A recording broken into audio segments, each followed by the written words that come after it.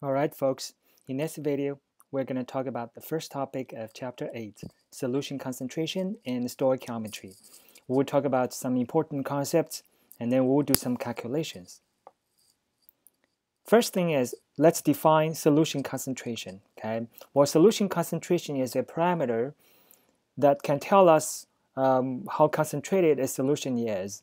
Okay, um, first thing is let's define solution. Solution means a mixture with two components. Okay, one is solute, the other one is solvent. So these are the two basic components of a sol solution. Well, then what's the difference between solute and solvent? Solute is the minority com component. Solvent is the majority component. Let me give you one example.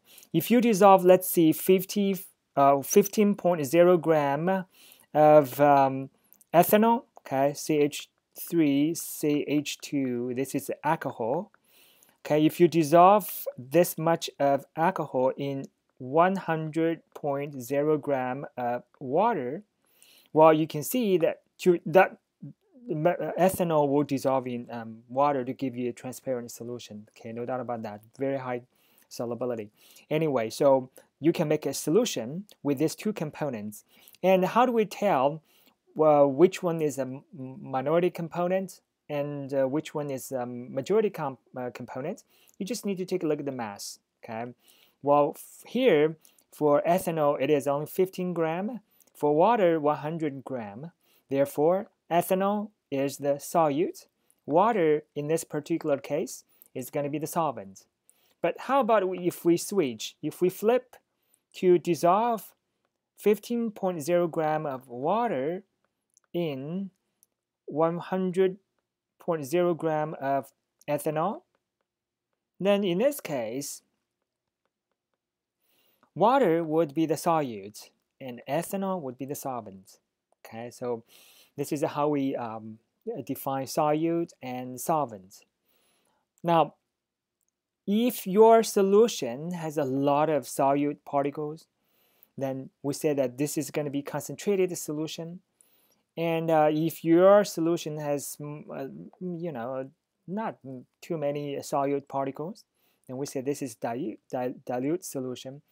Of course, you know, um, this is not that very clear how concentrated is concentrated enough.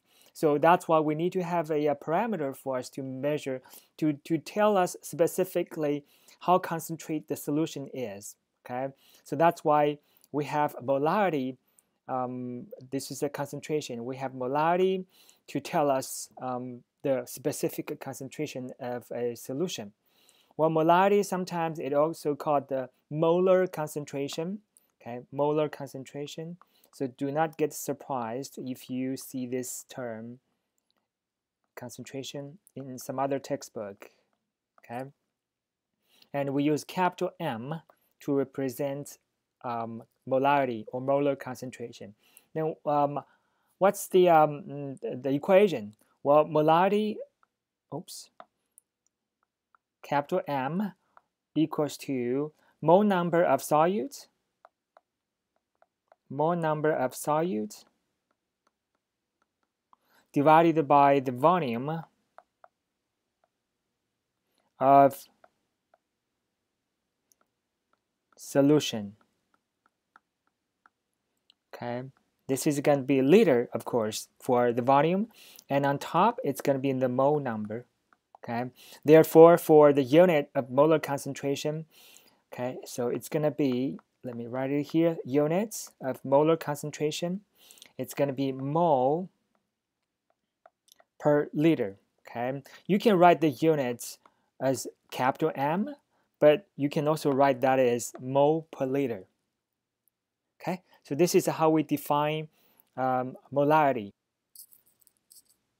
Okay, now based on the definition of molarity or molar concentration, you see that in order to prepare a solution with a certain concentration, you need to know two things. The first one is the mole number of solute. The second thing is the volume of the solution. Okay, um, let's take a look at this slide. This slide tells us um, how we use a volumetric flask to prepare um, a solution with a certain molar concentration. well, this funny looking flask is called the volumetric flask. What happened here is um, if you prepare a solution, once the meniscus curve of the solution the bottom of the meniscus curve of the solution reach this blue mark here, then the volume of your solution would be one liter. Okay, would be one liter, exactly one liter, and the precision of volumetric flask usually will be two decimal places. So this volumetric flask actually would be 1.00 liter when the meniscus curve reach this blue mark. Okay, so um, this uh, picture shows us uh, how you prepare um, um, a, um, a, sodium hydro. Uh, 1 mole per liter of the sodium chloride solution. You measure 58.44 gram of sodium chloride. That's exactly 1.00 mole per mole, okay?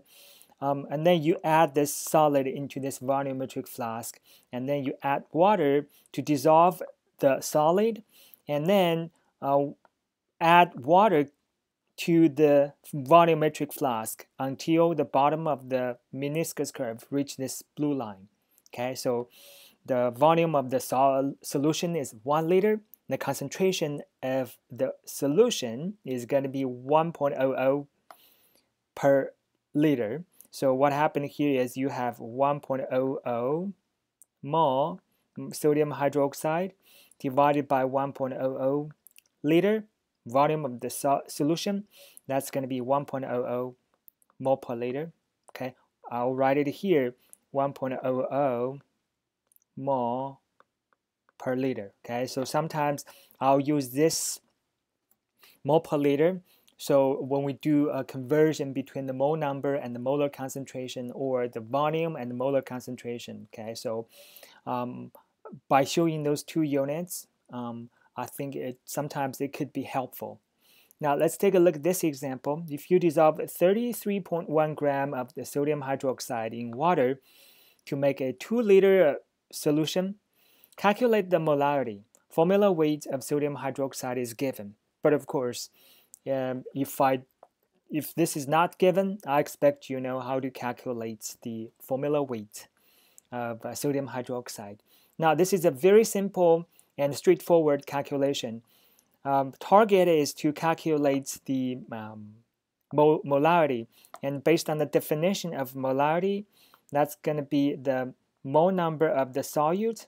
Well, here mole number of the solute, solute would be sodium hydroxide, okay, because you, on, you only have 33.1 gram, and um, that is way much less than water you need to prepare 2.00 liter of solution. Therefore, mole number of sodium hydroxide divided by the volume of the concentration of volume of the solution, okay, of the solution, which is I'll write it here, solution. This is a definition of the molar concentration of this sodium hydroxide solution. Mole number is going to be 31.1 gram. This is a conversion between the mass and mole number. Formula weight should be at the bottom and one more on top. Okay, so this is the mole number. The bottom is going to be the volume of solution, which is given here, 2.00 liter, 2.00 liter. And if you do the calculation, it will be 0.414 mole per liter.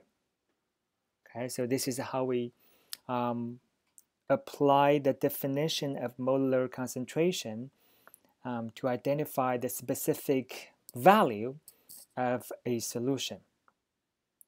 All right, now let's take a look at this slide. Well, this slide is about the solution dilution. Why do we need to take uh, talk about this? Well, in a chemical lab or biochemistry lab or biology lab or you know some medical science labs, a very common practice or scenario is like this.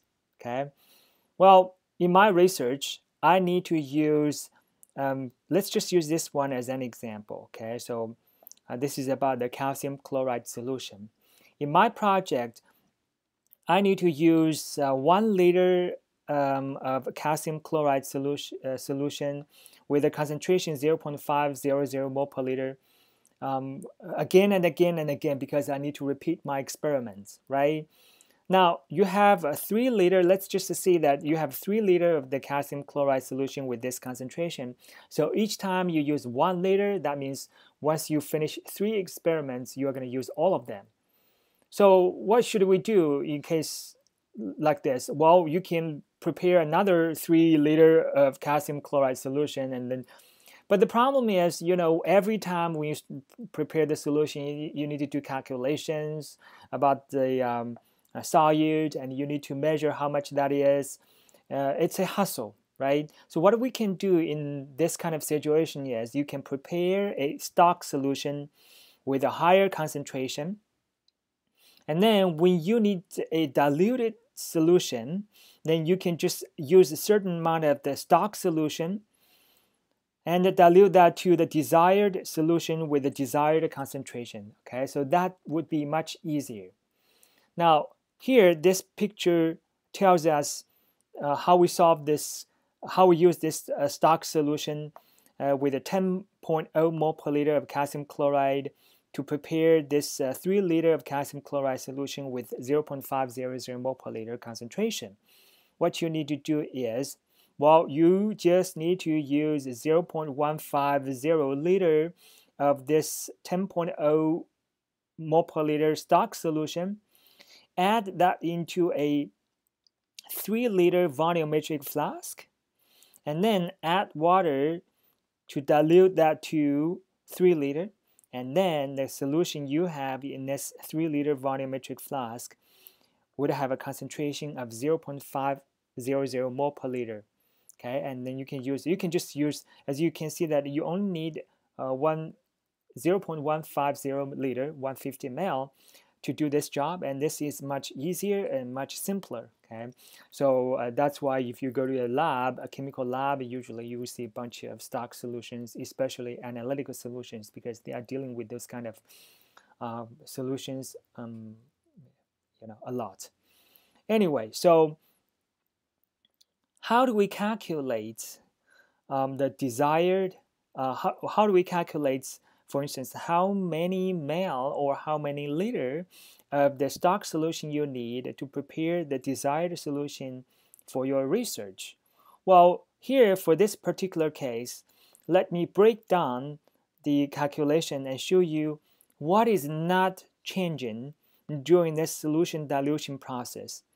Look, when you have uh, 0.150 liter of 10.00 mole per liter of stock solution, you can calculate how many mole of calcium chloride you have. All right, so let me do a quick calculation that shows you. It's going to be 0.150 liter times 10.0 mole per liter. Okay, so the results would be 1.50 mole. This is the mole number of the calcium chloride solution in this much of um, um, stock solution. Now you use you dilute this 0.150 liter stock solution to 3 liter. Therefore, in this new solution or diluted solution, the concentration of the calcium chloride would be 1, 1.50 mole divided by the volume. It's going to be 3.00 liter and that's going to be 0.500 mole per liter. Okay. Why do I want to show you this calculation? Well, this calculation shows us when you have certain amount of stock solution and dilute that to certain volume, the mole number of the solute is not changing.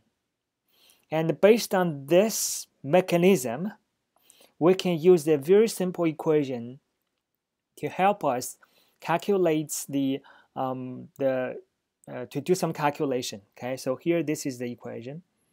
It's going to be m1 v1 equals to m2 v2. Here, M1 is going to be the concentration of stock solution,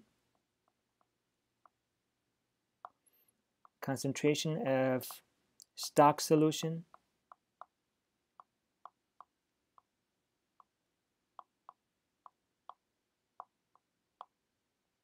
okay. V1 is the volume of the stock solution. I'll write it here. Okay. Volume of stock solution and here m2 is going to be the concentration of dilute diluted solution. Okay. And V2 is going to be the volume of diluted solution. Okay. All right. And this equal sign tells us where does this equal sign come from? This equal sign comes from the mechanism we just discussed the mole number of the solute is not changing before and after the dilution. All right, let's take a look at this um, example um, to help us understand how we use this equation. Well, a stock solution of hydrochloric acid has a concentration of 0.500 mole per liter. This is a stock solution how many ml of this stock solution you need to prepare 250 ml of 3.00 times 10 to the negative 3 mole per liter of hydrochloric, hydrochloric solution. Well, this is diluted solution. As you can see, the concentration is lower. This is diluted solution. So the M2, M2 is known, V2 is known, and M1 is known. I ask you to calculate V1. All right. So this is so we have um, clear idea about what we are trying to do in this equation. We know M1, M2, V2, calculate V1. A very common question in regarding this equation is, do I have to use liter for volume? The answer is no.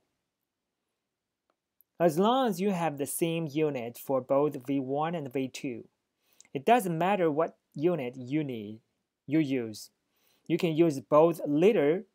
You can use liter for both V1 and V2, or you can use ml for both V1 and V2. It doesn't matter, but they have to be consistent with each other. Okay. In this case, since you are talking about how many ml of the stock solution you need, um, if you need to prepare 250 ml of the diluted solution, so we can just use ml directly. All right. So that tells us 0.500 mole per liter okay times V1 and equals to 3.00 uh, times 10 to the negative 3 this is M2 mole per liter times V2 that is 250 ml and the V1 would be just the two sides divided by 0.500 mole per liter. Okay, calculation is very straightforward. I don't think that's going to be a problem. Um, but it requires you to set up the equation correctly, okay, in order to get the answer right. And the calculation would be 1.50 mil, okay. Um, this is this particular problem. Um, as I mentioned, that you don't have to use liter for V1 and V2, um, but in this question, if you convert 250 ml to liter and do the calculation to find out the V1 in liter, then you can do one more step to convert liter of v, V1 to ml of v, uh, V1. Okay, you should be able to get the same answer um, you just need to do more, you know, calculation, and uh, it will cost you more time. And if you use the ml directly, and it will save you um, a little bit time. All right, this is solution dilution. Now let's take a look at uh, stoichiometry calculation involving solution concentration. We have a flowchart to help us. Volume A, volume B. Well, these are the two volumes for the reactant A, you know, the reagent A and B in a chemical reaction. Okay. How do we find out the relationship between the two? Well, you use the um, molar concentration as a bridge to find out the mole number of A first. Molar concentration of A, we use MA to represent. Okay, so by having this, you can find out the mole number of A. And then between the mole number of A and the mole number of B, it's going to be molar ratio. If the reaction is balanced, if the reaction equation is balanced, you should be able to find out the molar ratio by just checking the coefficients. Now, once you get the mole number of B, you can convert that to volume of B by using the molar concentration of B. Okay. And I don't know whether you remember the um, stoichiometry uh, calculation we discussed in the previous chapter. In that chapter, we use the molar mass, molar mass, to find out to convert from mass A to the mole number of A, mole number of B to mass A. Okay, very similar flow chart for us to follow. In this flow chart, we're going to use molar concentration of A and B. Let's take a look at this example. You have this balanced equation, okay, between the sodium uh, sulfate, sulfate and the silver perchlorate. It generates two products. Okay, one is precipitate, solid here. The other one is aqueous solution. What volume of 0.150 mole per liter of sodium sulfur, sodium sulfide is required to completely react with 22.5 ml of 0.250 mole silver perchlorate? So you are talking about these two reactants in this case. It doesn't matter which one you define as the A or B. Um, in this particular case, let's see um, perchlorates uh, is A, since we know both, concentra both concentration and volume. Okay, so now how do we set up the equation? Here, the first thing is you need to find out the mole number of uh, silver perchlorate. And uh, the volume is given as ml. So in order to find out the mole number of the silver perchlorate, you need to convert ml to liter. So that's the first thing that we need to do, 22.5 ml. Convert that to liter. Okay, one, one ml is 10 to the negative 3 liter. Remember the lowercase m is 10 to the negative 3. Alright, this is from chapter E. Okay, times the molar concentration of uh, silver perchlorate. Okay, so that's going to be 1 liter. Write it here. Okay, so 22.5 of silver perchlorate. So you can you can uh, follow sodium uh, silver perchlorate silver perchlorate okay one liter of the silver perchlorate okay is 0.250 mole silver perchlorate okay by labeling the chemical uh, formula uh, I think that will help you better track what we are doing. Now, with this, we got the mole number of silver perchlorate. Now it's time for us to use molar ratio between silver perchlorate and sodium sulfate to find out the mole number of sodium sulfate.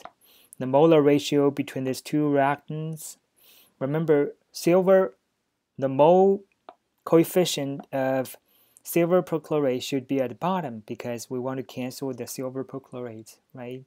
Okay, so that means 2 mole silver perchlorate will react with 1 mole of sodium sulfide completely. Now, once you get this, we are right here, okay? Now, the last step is to find out the volume of sodium sulfate. Again, we use the mol molar concentration of um, sodium sulfate to do the conversion. And uh, so how do we set it up? Remember right now, for this part, the units would be the sodium, uh, the mole number of sodium sulfate. So when you use concentration, the mole should be at the bottom. Okay, 0 0.150 mole of sodium sulfide in 1 liter sodium sulfate solution.